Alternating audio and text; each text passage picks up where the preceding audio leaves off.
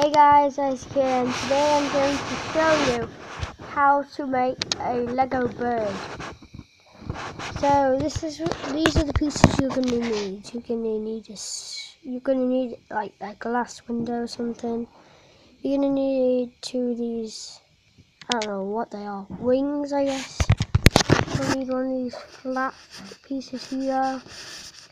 This is not actually a square piece. This is two flat um, squares on top of each other. So pause the video now.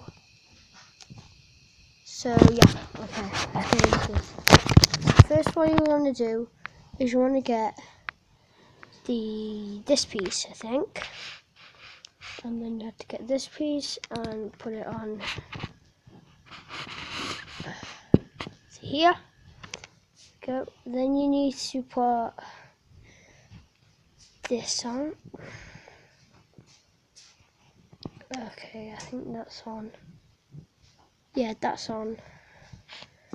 And then you need to put the other piece on. Then you need to put the flat pieces on top. And then the glass window.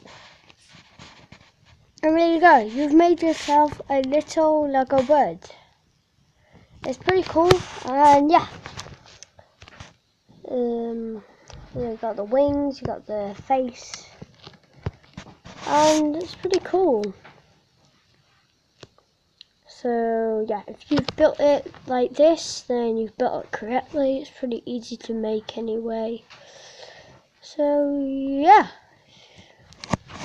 here. Please like and subscribe, and I'll see you in the next one. Peace.